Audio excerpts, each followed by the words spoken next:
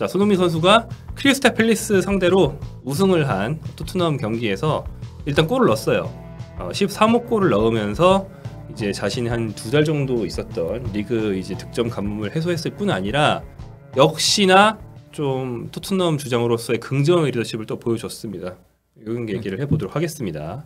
뭐 손흥민 얘기는 어제도 라이브에서 했기 때문에 음. 사실 간단하게만 훑어보자면은 음. 3대 1로 역전승을 했잖아요. 네, 손흥민은 원톱으로 나와서 사실상 풀타임을 뛰면서 맹활약했습니다. 후반 음. 추가 시간에 교체가 됐으니까요. 그냥 원톱으로 나와서 평소에 하던 대로 뭐 끊임없이 내려와서 동료에게 공간과 기회를 창출했고요. 음. 각 필요할 때는 자기가 직접 침투를 해서 공격 기회를 이끌기도 했고요. 그리고 후반 43분에는 역습 상황에서 깔끔한 쐐기골까지 넣었습니다. 음, 그렇게 해서 3대1 승리를 이끌었고요. 음, 그래서 이날 지표를 간단히 보자면은 한 골을 넣었는데 유효 슈팅도 1회였어요. 음, 즉, 즉 이번 시즌에 계속해서 강조되고 있는 손흥민 선수 유효 슈팅 대비 골 득점 전환율 이번에도 어김없이 100%로 증명을 했다라고. 네. 뭐, 오늘. 이 얘기를 길게 하지 않겠지만 XG, XG 뭔지 많이 아시죠? 빅데이터로 이 선수가 얼마나 양질의 득점기를 잡았는지를 이제 계산해서 산출하는 건데 XG 대비 득점. 음. 그러니까 이 선수가 시, 단순한 슈팅 숫자가 아니고 얼마나 좋은 슈팅 기회를 동료들한테 제공받았는가. 이걸 기준으로 볼 때 손흥민 독보적인 일입니다. 독보적인 일이. 그래서 뭐 골대를 맞춘 장면도 있었고요. 음. 손흥민이 팰리스전에서. 그 다음에 기회 창출 3회, 큰 기회 창출 빅 찬스. 음. 그게 2회가 되는 네. 엄청난 활약을 보였는데 다들 기억하시겠지만 이 큰 기회 중에 한 개를 이제 베르너가 놓쳤죠. 네, 뭐 베르너한테 준 그 왼발로 찍어 차준 속공 스루 패스. 예. 네, 상황이었습니다. 음. 그래서 베르너가 1대1 상황을 맞이를 했는데 베르너가 뭐 스피드에서 꿀리는 선수가 아니잖아요. 그러다 보니까 골키퍼 앞까지는 잘 갔는데 예, 골키퍼를 제치고 골을 넣을까 아니면 바로 슈팅을 해야 될까 그거에서 좀 고민을 많이 했던 것 같아요. 주춤주춤 하다가 네. 네. 충분히 골키퍼로부터 멀리 치지 못하고 애매하게 쳐서 골키퍼가 어? 내 건댕 이러면서 공을 가져가 버리는 예. 그래서 무산돼 버렸습니다.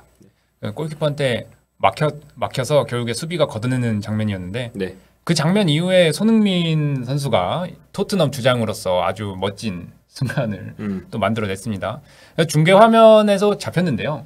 중계하면 이제 공이 나가고 나서 베르너를 당연히 잡아줄 거 아니에요. 큰 기회를 놓쳤으니까. 근데 거기서 이제 손흥민이 베르너를 딱 잡더니 머리를 이제 두들기면서 독일어로 계속해 음. 라고 격려를 했다고 합니다. 아, 독일에서 손흥민 선수 오래 살았으니까. 예. 네. 음. 또 베르너도 독일 선수고 네네네.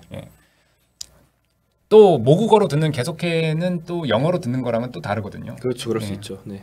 그렇기 때문에 베르너한테도 큰 힘이 됐을 거라고 생각을 하고요. 음.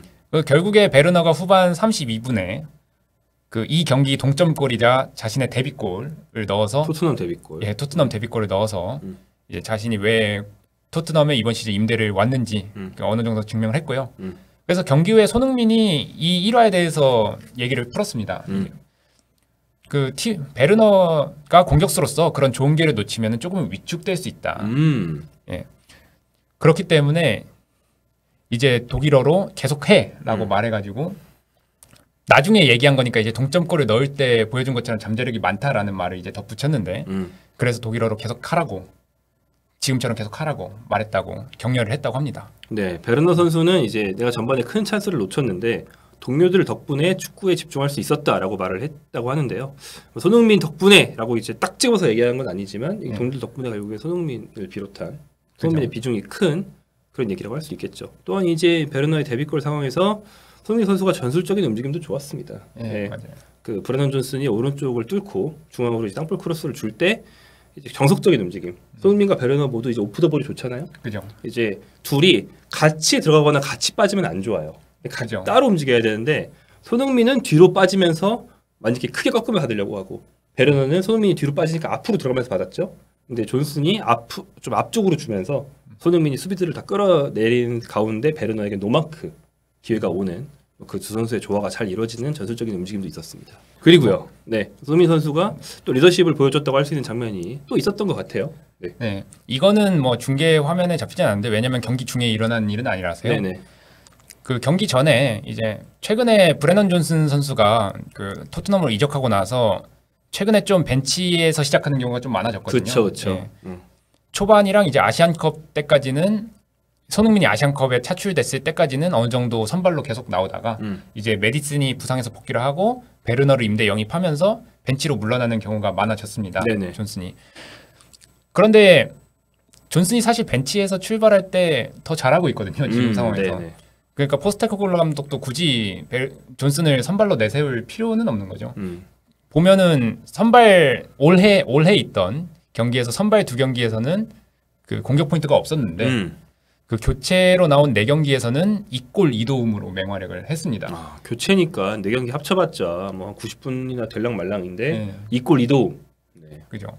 그리고 이번 펠리스전에서 2도움을 또 기록을 한 거고요. 네. 그런데 이제 존슨이 이번에 2도움을 기록할 때 베르너의 동점골을 도왔고 음. 또 손흥민의 쐐기골을 도왔잖아요. 그렇죠. 예. 그 장면에서 이제 존슨에게 자신감을 불어넣어준 선수도 역시 손흥민이다. 음. 역시나 손흥민이 경기 후 인터뷰에서 밝힌 내용인데요. 아마 존슨이나 베르너가 최근에 활약이 그렇게까지 뭐 선발로 나왔을 때 그렇게까지 좋진 않았으니까 베르너랑 존슨에 대해서 얘기가 나올 수밖에 없었을 것 같은데 그렇죠. 네. 또 손흥민이 그 기회 창출을 해준 대상이 또 베르너랑 존슨이기도 했고요. 네, 네, 네. 결국에 도움을 기록하지는 못한 장면들이었는데 네. 그래서 물어봤는데 존슨에 대해서는 나는 그를 사랑한다. 음. 많이 도와주고 싶다, 껴안고 싶다 막 이러면서 음. 저 존슨에 대한 애정을 보여줬고요. 네, 네. 또 경기 직전에도 존슨이 존슨한테 손흥민이 이제 오늘도 벤치에서 시작하는 존슨아 이러면서 확실히 준비했는지 확- 준비가 됐는지 벤치에서 시작하는 존스나 그렇게 말한 거 맞아요? 아 아니죠 네. 그러면서 뭐라고 했는데요? 네. 아, 방금 그 연기 톤이 어 아, 계속 계속 해보시죠. 네.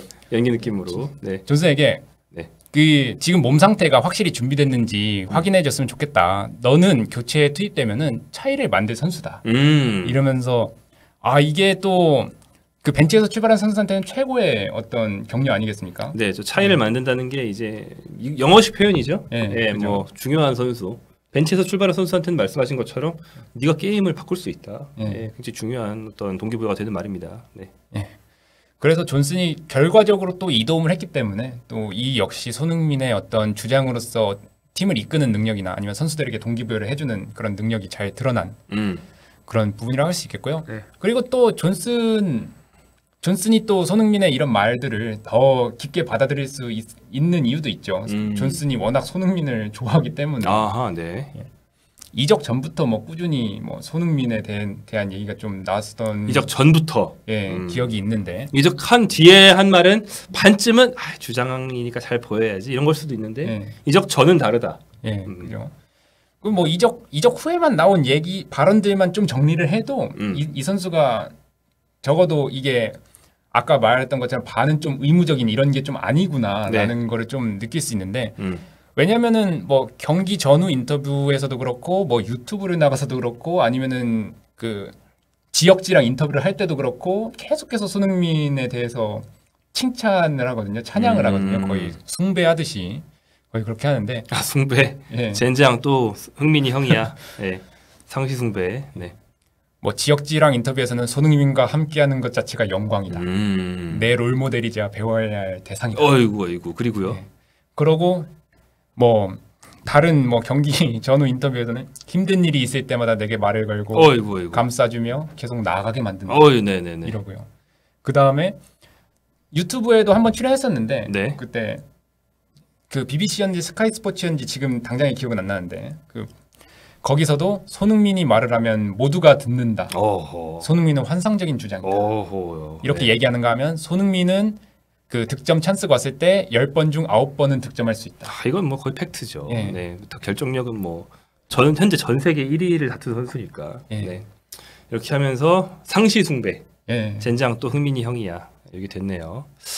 하, 뭐 손흥민 선수의 이런 류의 일화들은 뭐 토트넘에서 지금 무궁무진하게 나오기 때문에 그죠. 네. 뭐 사실 놀라울 건 없다. 예.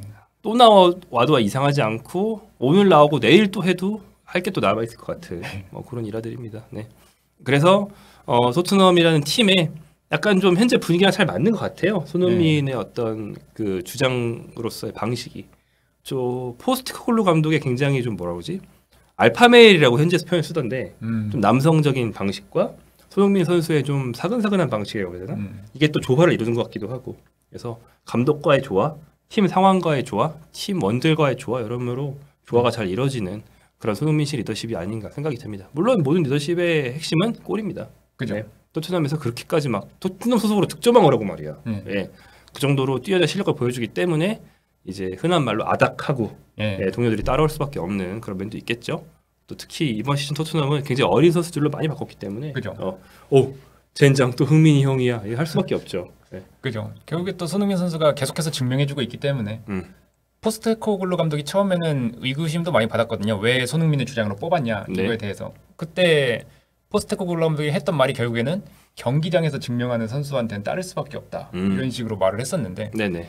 손흥민이 이번 시즌에도 경기장에서 보여주기 때문에 음.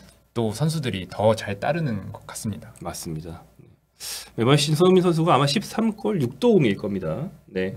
어, 뭐 팀 내에서 가장 공격 포인트가 많은 선수인 것은 물론이고 뭐 그 밖에 많은 득점기의 창출을 동료들에게 해주고 있는데 동료들이 마무리를 못해서 조금 어시가 덜 나오는 거예요. 그죠? 예, 반대로 동료들은 손흥민이 마무리를 잘해줄 어시가 잘 나오고요. 예. 예, 걔네들은 손흥민 덕을 보는 거고 stat 면에서. 네. 제가 아까 X 얘기를 했는데 X 측면에서 손흥민 선수가 좀 독보적인 1위고요. 또 XG 2위, 그러니까 XG 빼기 골 2위가 누구더라? 아무튼 2위 선수랑 10골 차이가 납니다. 음. 아, 10골 2위가 보웬이다. 제러드 보원인데 제러드 보웬이랑 10골이 아니고 1.0 넘게 차이가 나요. 아, 그러니까 이게 예. 굉장히 많이 나는 거거든요. 그렇죠. 예, 1.0 넘게 차이 나는 거는. 근데 이제 반대로 꼴찌는 누가 있냐면 꼴찌 그룹에 잭슨, 누니에즈, 혼란이 다 있습니다. 이 선수들은 뭐냐면 어, 빅데이터가 계산했을 때 그들이 잡은 득점 기회의 총 질에 비해서 오히려 골이 적어요. 음. 손흥민은 훨씬 많습니다. 이 차이가 있죠. 예. 예. 그, 아유, 이번 시즌에 보원도 되게 잘하는 선수인데 네. 예, 물론 지난 시즌에도 잘하긴 했지만 근데 보원도 웨스트햄이 좀 역습 축구해서 네. 슛을 많이 하진 않잖아요. 네, 그리고 이제 득점 기회 자체를 본인이 치고 들어가서 만들지 발만 톡 떼서 받아먹는 것보다는 그런 게 많기 때문에 그죠. X가 높지 않거든요. 그거에 비해서 마무리를 굉장히 잘해준다는 거고 손흥민도 마찬가지로 쉽지 않은 상황에서의 마무리를 많이 해준다. 예. 그래서 XG에 비해서 골이 4골 이상 높다라고 이제 이해하시면 되겠습니다. XG 스탯에 대해서는 앞으로 저희가 좀 세부적으로 뭐 얘기를 좀 많이 해볼 수 있을 것 같아요. 왜냐하면 손흥민이 잘한다는 거를 단적으로 보여주는 게 XG이기 때문에 할 말이 많을 것 같습니다. 네. 자 이렇게 해서 어, 손흥민 선수의 토트넘에서의 리더십 네. 얘기를 해봤고요. 오늘 여기까지 마치겠습니다.